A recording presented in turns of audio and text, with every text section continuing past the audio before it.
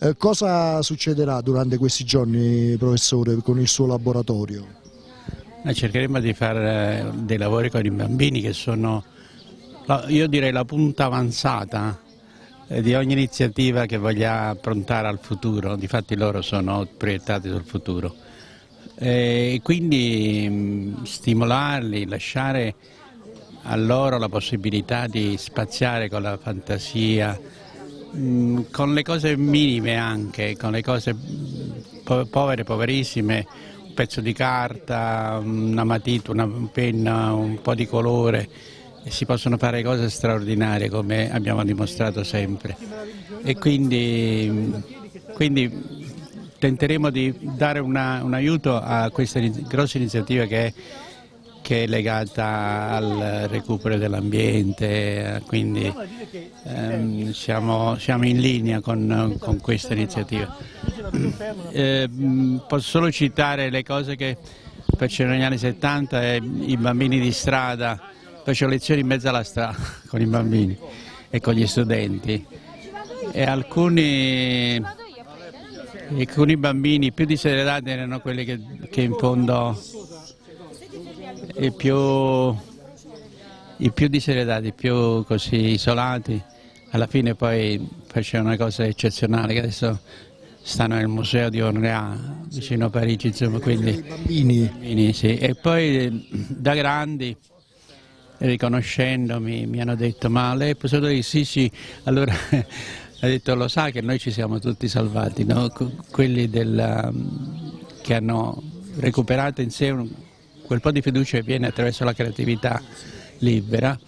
Eh, poi non è che si pensava che il più bravo di loro, quello che era il più desiderato, poi eh, dovesse fare il percorso universitario, invece era, era assolutamente impossibile perché occorrono delle condizioni di partenza, però hanno saputo e potuto mm, svincolarsi da dalle morse della povertà, dell'abbandono che genera anche eh, disfunzioni morali, sociali eccetera.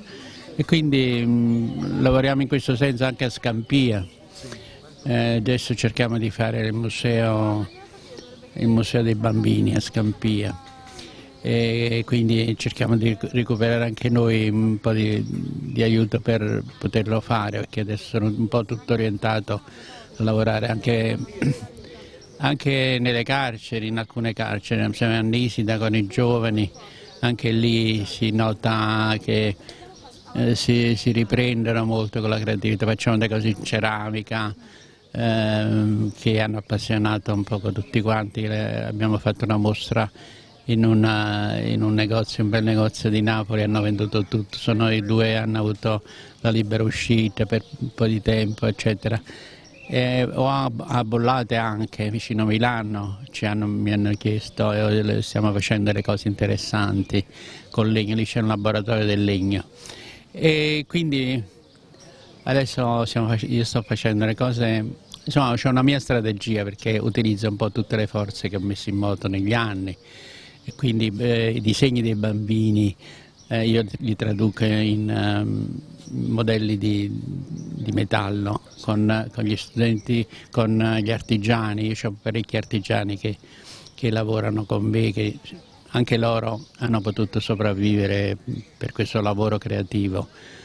Io dico, mi sbaglio, dico certe volte creatino, o no, ma è una strada importante, una strada che ha vari risvolti, può, può ampliarsi ancora di più, certo eh, sulla scia delle cose fatte, adesso si parla di, di arte terapia, la, la terapia, sì, di terapia anche sociale, insomma, non soltanto eh, di, di, che riguarda mh, lo stato di salute delle persone, dei, dei giovani. Quindi l'arte può fare parecchio, più di quello che non si pensa, non è solo una cosa che si, si fruisce come, una, come la pura bellezza, ma come qualcosa che può incidere a livello umano, economico, sociale, insomma, vabbè. Vabbè, ho detto. No, no, io volevo chiedere invece, volevo ringraziarla eh, eh, per tutto quello che sta facendo eh, con i bambini, con la sua attività eccetera, ricordando pure ai nostri telespettatori che lei ha donato pure delle opere molto belle per il progetto Pest Umanità, lei è stato sempre vicino alle Ambiente, al suo progetto, eccetera. anche queste compostiere che vediamo qui dietro eh, nascono un po' dall'idea eh, che lei descriveva prima, no? cioè di un, un oggetto d'uso che non necessariamente deve essere fatto diciamo in modo brutto dico io, no? cioè, può avere pure una sua bellezza estetica, lei è molto, è molto attenta a questa cosa perché lei è famosissimo per i suoi oggetti design che sono stati oltretutto premiati eh, ultimamente, lei è stata in Cina, ha avuto pure un premio importante. Quindi, quindi diciamo, la creatività serve non solo ad avere questi rapporti sociali con le comunità, eccetera, ma serve anche a sviluppare oggetti più dignitosi. Sì, sì, ma l'idea è quella di eh, incidere sull'immaginazione. Per esempio le compostiere, se una cosa è fare la compostiera che sia perfettamente funzionale, cioè, l'altra cosa è la compostiera che si può fare in tanti modi. E quindi anche non solo ma a vederle uno dice ma che cos'è? Sono cose dessa curiosità eh, e voglia, e voglia, sono anche sculture insomma e anche uno ha voglia di di mettersele nel giardino, mettersele insomma, nel proprio orto, oppure, eh, oppure insomma, apre ad altre prospettive, non, non, non è, la realtà non è chiusa in settori, la compostiera è una cosa, le cose d'arte sono un'altra cosa, no, sono cose che, così, l'arte è una cosa, la salute è un'altra, no? la medicina si può avvalere delle cose, infatti ci sono molti spunti, stiamo facendo anche degli esperimenti un po' su, su delle sculture che abbiano un valore di stimolazione diretta sul, sul fruitore, per esempio all'ospedale, all'ospedale a Napoli dei bambini eh, abbiamo messo un sacco di mie sculture, allora i bambini si sono appassionati si, vanno là, non, non, non, sentono di stare in un ambiente. Non sono spaventati. Non sono spaventati dall'ambiente, ma, ma sì. e poi qualche lavoro lo, fa, lo, lo si fanno, lo, anche i bambini vanno, vanno soprattutto bambini eh, un po' obesi da, dovuto a queste cose qua, oppure che abbiano certi difetti naturali, insomma, vabbè, non voglio entrare in no, dettaglio. No, noi, siamo, ehm, cioè noi, abbiamo introdotto all'interno della festa anche un percorso d'arte, appunto.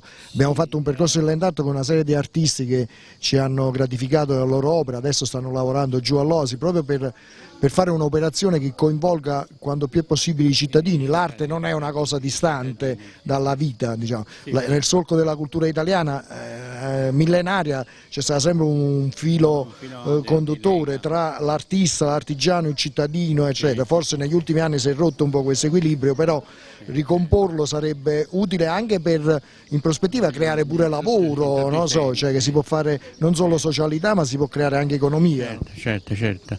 Difatti il lavoro che faccio io insomma, è anche un'economia, no? magari una microeconomia, io faccio, spendo tutto quello che ho sì. per fare cose, per cui è venuto un, uno straniero è venuto allo studio e ha detto sembra uno studio dove lavorano 100 artisti, io sono uno, però, però gli altri 100 ci sono. sono Accompagnato da un sacco di artigiani. Sono i collaboratori, sono le cose belle. E quindi cerchiamo di fare quel pochino che riusciamo a fare.